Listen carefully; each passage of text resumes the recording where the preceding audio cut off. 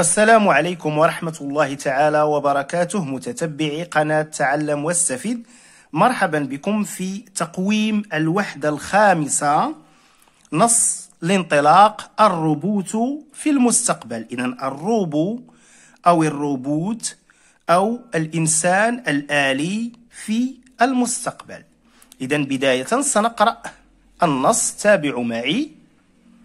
لعل من أبرز التحديات التي تواجه الإنسان اليوم خاصة داخل المجتمعات التي قطعت اشواطا بعيدة في مجال العلم والتكنولوجيا الرقمية هو التطور الكبير والمتسارع لصناعة وبرمجة الروبوتات الذكية.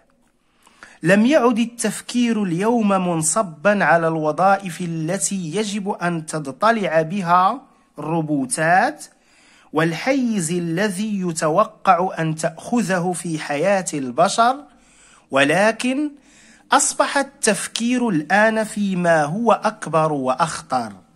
إنه توقعات العلماء بخصوص الثورة الكبيرة لصناعة الروبوتات. وهي الثورة التي يمكن أن تغير نمط حياتنا وطريقتنا في العيش. لقد أصبحت الروبوتات تستخدم اليوم في أصعب الأعمال وأهمها مثل الطب لإجراء العمليات الجراحية الدقيقة وفي الخدمات العسكرية مثل الكشف عن الألغام والطائرات دون طيار. بالإضافة إلى أنها باتت اليوم أساسية في الصناعات الدقيقة وكذا في تطوير الفلاحة وتربية المواشي.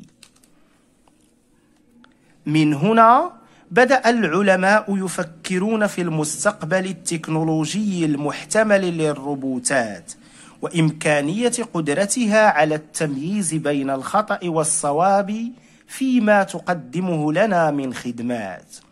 وهذا ما جعل العاملين في هذه الصناعة الذكية يطورون الذكاء الصناعي لمواجهة هذه التحديات المحتملة.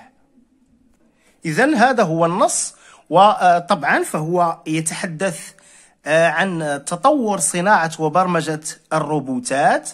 حيث آه، صارت تحديا حقيقيا ومهما يواجهه الإنسان اليوم.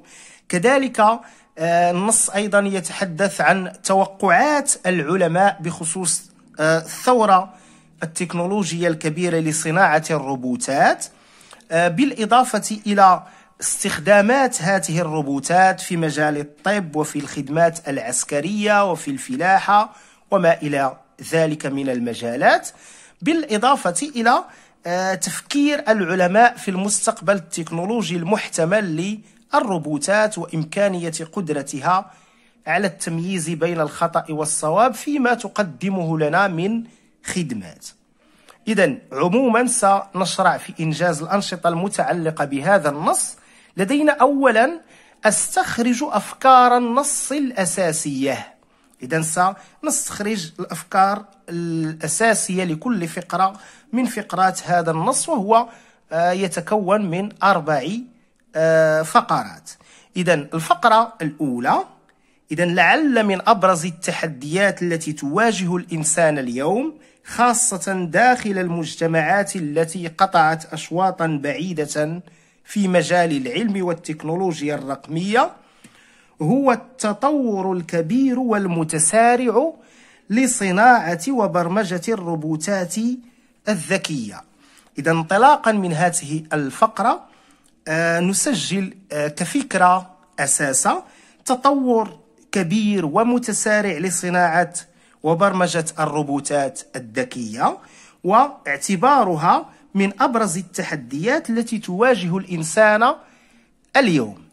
ثم الفقرة الثانية لم يعد التفكير اليوم منصبا على الوظائف التي يجب أن تضطلع بها الروبوتات والحيز الذي يتوقع أن تأخذه في حياة البشر ولكن أصبح التفكير الآن فيما هو أكبر وأخطر.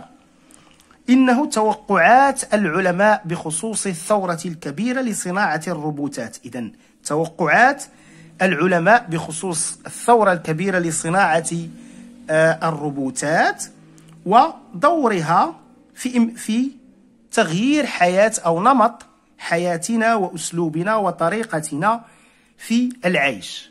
ثم الفقرة الثالثة لقد أصبحت الروبوتات تستخدم اليوم في أصعب الأعمال. إذا طبعا تستخدم في الطب تستخدم في الخدمات العسكرية في الفلاحة وما إلى ذلك. إذا الفقرة تتحدث عن استخدامات الروبوتات في عصرنا الحالي في عدة مجالات.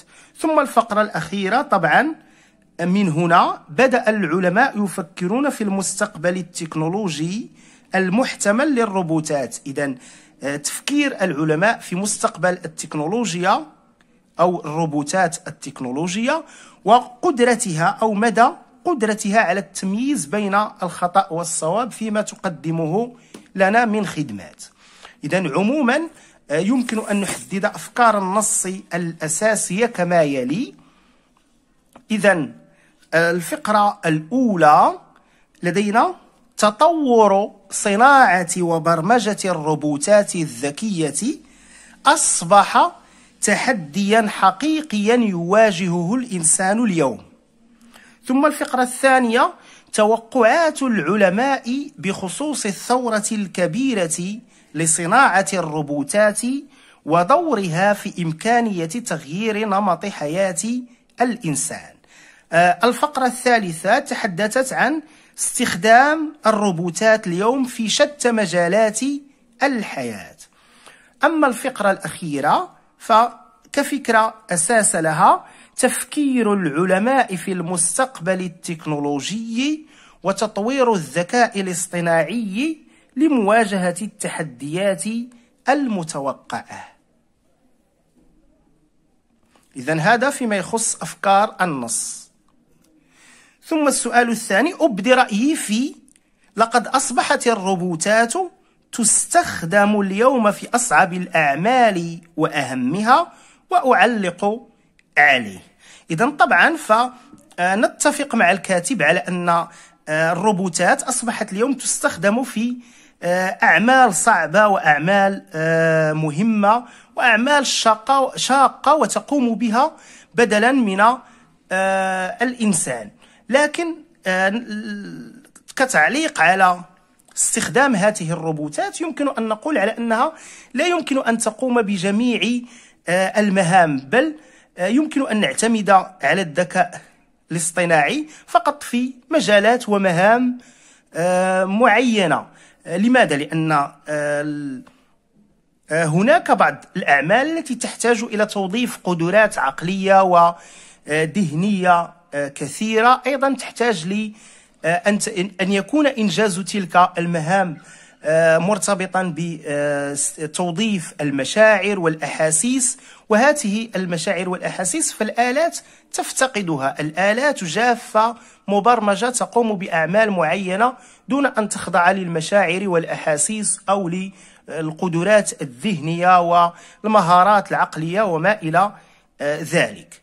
إذا عموما يمكن أن نبدي رأينا في هذه الفكرة. كما يلي سنقول مثلا أتفق مع الكاتب في هذا الكلام فالروبوتات فعلا صارت تستخدم حاليا في مجموعة من الأعمال الصعبة وفي عدة مجالات لكن أعتقد أنها عموما لا يمكن أن تقوم بجميع المهام حيث يصعب الاعتماد فيها فقط على الذكاء الاصطناعي لماذا؟ لأنها تحتاج أكثر إلى توظيف القدرات العقلية والمشاعر والأحاسيس التي تفتقدها الآلات. إذا هناك آه، أعمال تحتاج قلنا لتوظيف القدرات العقلية والمشاعر والأحاسيس. ننتقل الآن للظواهر اللغوية. نبدأ بالصرف والتحويل. أصوغ جمع التكسير من الأسماء الآتية. دكان شجرة سهم ورجل إذا هذه الكلمات سنصوغ جمع التكسير منها كما يلي. إذا دكان فهي تجمع على دكاكين. إذا دكاكين.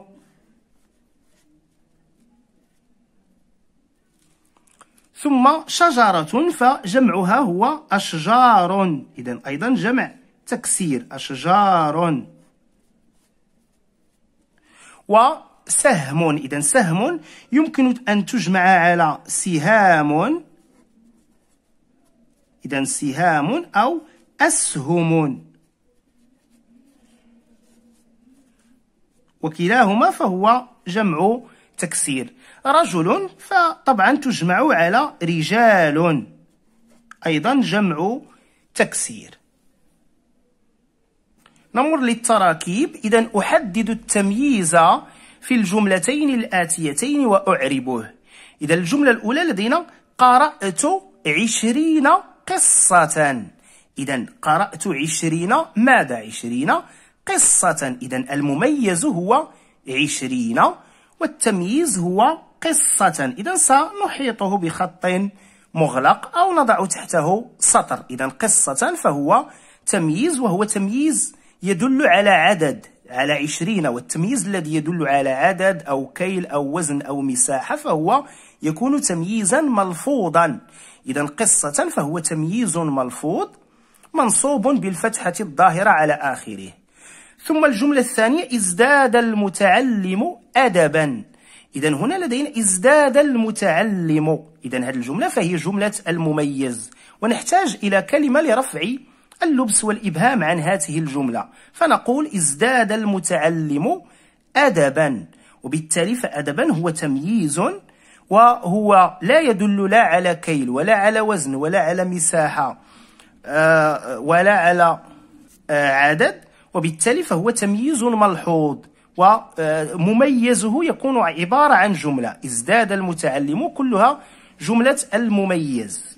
إذا هذا تمييز ملحوظ أيضا منصوب بالفتحة الظاهرة على آخره. إذا عموما الكلمتين أو التمييز في الجملتين سنعربه كما يلي.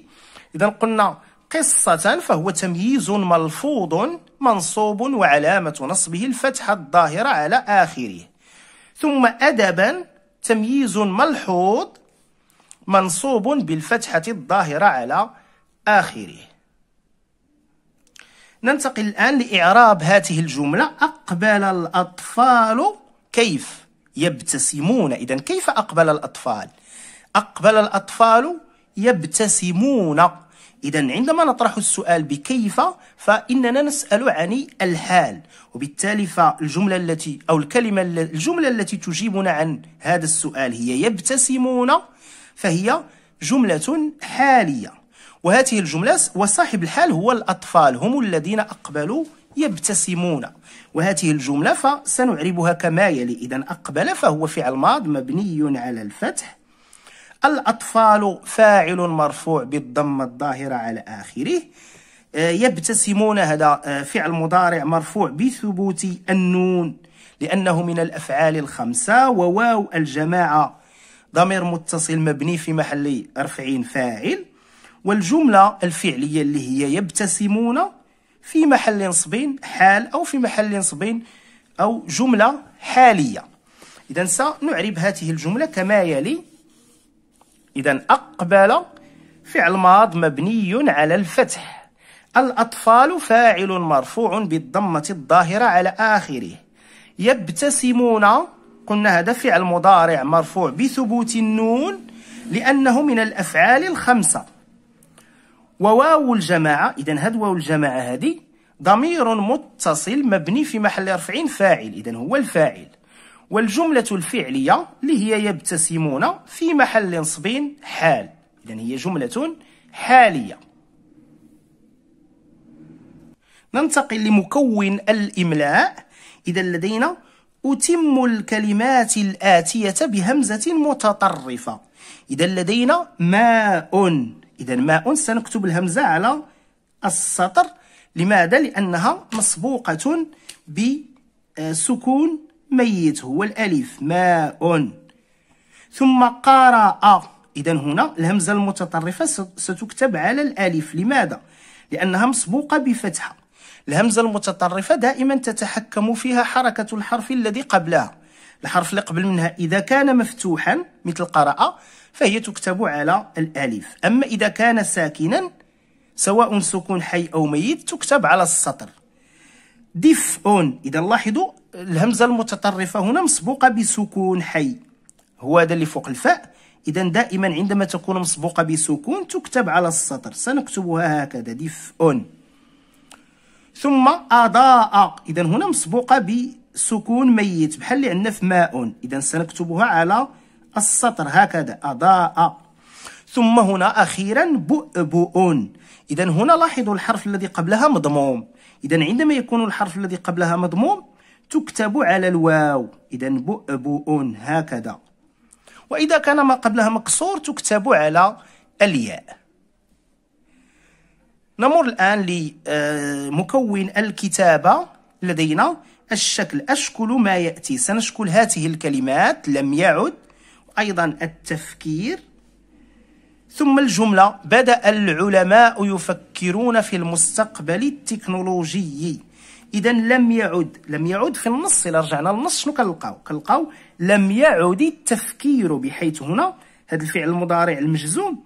فهو آه التقى ساكنان. السكون ديال اللي فوق الدال. والسكون اللي عندنا هنايا التفكير فإذا التقى الساكنان فكسر ما سبق. لذلك غنقولوا لم يعد.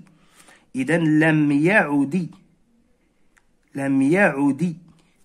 لم يعد التفكير. إذا لم يعد التفكير. هكذا. ثم الجملة عندنا بدأ. إذا بدأ. بدأ العلماء يفكرون في المستقبل في المستقبل التكنولوجي. هكذا سنشكل هذه الجملة.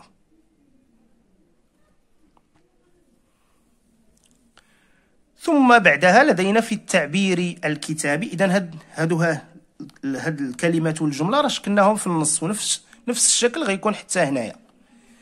إذا التعبير الكتابي أعيد كتابة النص بأسلوبي الخاص مستعينا بأفكاره الأساسية مع تعزيزه بالإشارة إلى الأخطار التي تهدد الإنسان عند استعمال التكنولوجيا.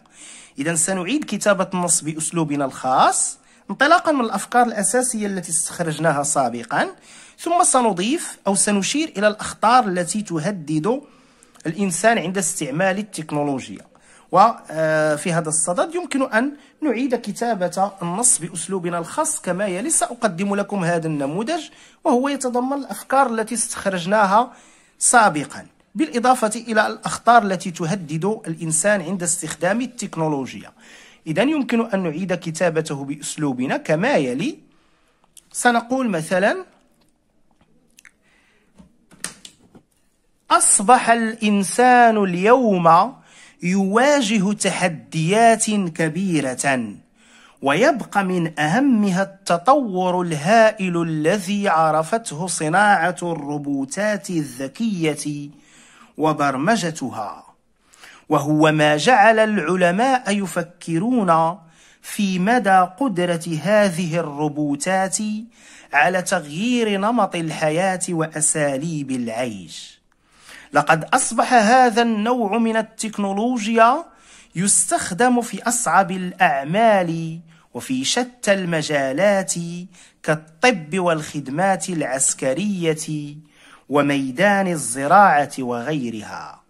وأمام الطلب المتزايد عليها صار تفكير العلماء منصبا حول المستقبل التكنولوجي وتطوير الذكاء الاصطناعي لمواجهة التحديات المنتظرة. إذا هنا نكون قد أعدنا كتابة النص بأسلوبنا الخاص. الآن سنتحدث عن الأخطار التي تهدد الإنسان عند استخدام التكنولوجيا. سنقول مثلا إن الاستخدام العشوائي والمبالغ فيه للتكنولوجيا يمكن أن يعرضنا لعدة أخطار منها توقف القدرات الذهنية والعقلية عن التطور وعدم توظيفها لحل مجموعة من الوضعيات التي نجد أنفسنا فيها بسبب كثرة اعتمادنا على التكنولوجيا إضافة إلى تأثيرات صحية كالخمول وفقدان الرغبة في العمل والحركة. إذا هنا من بين هذه الأخطار آه، قلنا يمكن أن يعرضنا الاستخدام العشوائي أي المبالغ فيه وغير المنظم للتكنولوجيا لعدة أخطار منها توقف القدرات الذهنية والعقلية عن التطور. إذا عندما لا نستعمل ونستخدم قدراتنا الذهنية والعقلية فإنها طبعا ستتوقف عن التطور. وأيضا عند عدم توظيفها لحل مجموعة من الوضعيات التي نجد أنفسنا فيها. إذا وضعيات نجد أنفسنا فيها. نعتمد على التكنولوجيا. نعتمد على التكنولوجيا فقط. وهنا أيضا ستتأثر قدراتنا الذهنية والعقلية. إضافة إلى أخطار أخرى مرتبطة بتأثيرات صحية. مثلا الإنسان يميل إلى الخمول والكسل وفقدان الرغبة في العمل والحركة. إذا هذا كل ما يتعلق بهذا التقويم. شكرا لكم وإلى اللقاء بإذن الله تعالى.